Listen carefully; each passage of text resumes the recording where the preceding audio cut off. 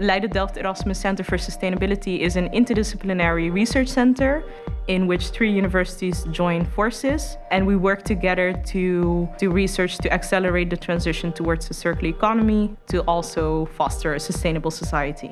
The interdisciplinary thesis program is developed for students who, who really want to work on a, a sustainability challenge set by a external client. My name is Frank Willem Jansen. I'm the chairman of Medical Delta. The care is uh, responsible for 7 to 10% of the CO2 footprint, so there is actually a subject research more. And I think that's what I asked from the students. And all together, they gave me actually an overview what is all going on with sustainability in the hospital. And it's actually a big question, and the answer is not yet there. I think participating in a lab is very interesting because you have collaboration with uh, students from different disciplines. They get more connections and collaborations. Stakeholders, for example, or people in or outside the hospital. So I think that's very valuable. This lab gives you the possibility to become more creative and to see where other possibilities are. You get to look at this problem from different perspectives and you get to connect all your ideas together on how can we make the world more sustainable.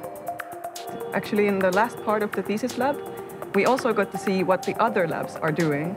And I feel like I actually learned the most on this day.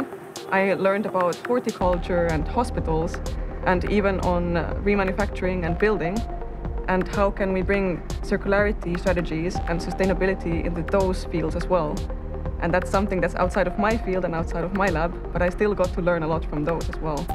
The advantage that uh, the interdisciplinary lab uh, provided is that the access to the uh, network of the stakeholders was really nice to have and it gave them really nice uh, access to their information. It really brings together everything uh, that you learn in a master thesis.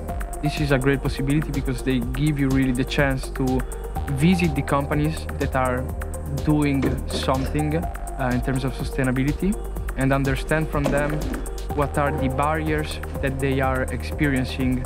You also really get to understand the complexity. Uh, there's never one single solution. It's very important to have an honest conversation in terms of the sustainability of certain technologies.